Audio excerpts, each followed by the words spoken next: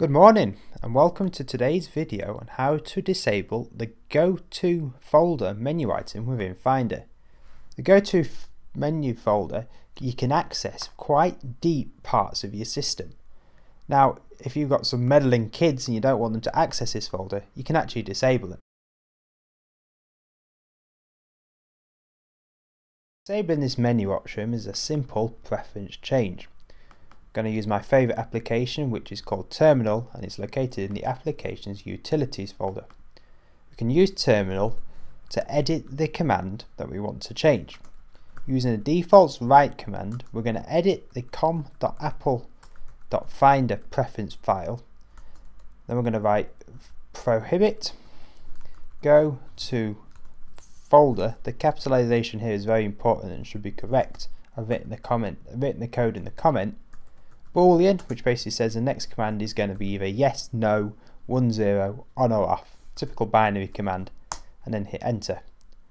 Well nothing much has happened, all we've done is we've changed the preference, we haven't told Finder that it's been changed.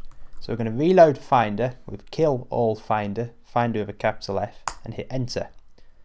Now when we go to Finder and select go, go to folder has disappeared. Excellent, we now can't access the command.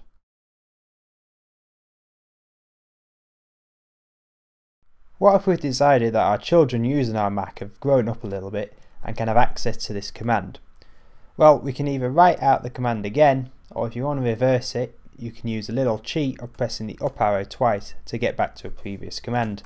Then simply type false instead of true. We've now altered the command, kill all finder once again, and press enter. Finder will restart, and as if by magic, the command has reappeared. This command will also disable the keyboard shortcut, which is pretty handy.